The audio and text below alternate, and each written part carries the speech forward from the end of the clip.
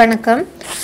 இப்போ வந்துட்டு பழங்களை நம்ம எப்படி எடுத்துக்கலாம் அப்படின்னு சொல்லிட்டு பார்க்கலாம். இப்போ நல்லா பழுத்த பழங்களில் வந்துட்டு மனித உடலோட வளர்ச்சிதை மாற்றத்துக்கு தேவையான எல்லா வித சத்து பொருட்களுமே இருக்குது ரெகுலராக தேவையான அளவு பழங்களை நம்ம சாப்பிட்டோம்னா புற்றுநோய் இருதய நோய் அப்புறம் இதர நோய்கள் வர்ற அபாயம் ரொம்பவுமே குறைவு.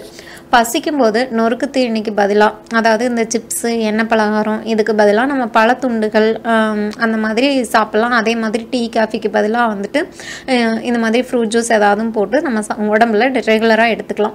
நீரிழிவு நோய் இருந்துச்சு அப்படின்னு சொன்னால் அதிக மாவுச்சத்து இருக்கிற வாழைப்பழம் பலாப்பழம் மாம்பழம். இது வந்துட்டு குறைவாக சாப்பிடணும். அன்னாசி பழத்தில் உடம்புக்கு தேவையான பல என்சைம்கள் இருக்குது ரெகுலராக நானூறு கிராம் பழத்தை மூன்று நான்கு முறையாக நம்ம எடுத்துக்கலாம்.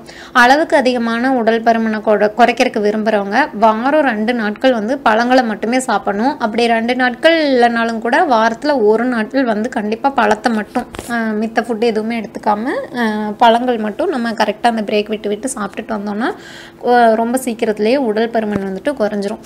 மேலும் இந்த மாதிரி தகவல்களை தெரிஞ்சுக்க சேனலை சப்ஸ்கிரைப் பண்ணுங்கள் தேங்க்யூ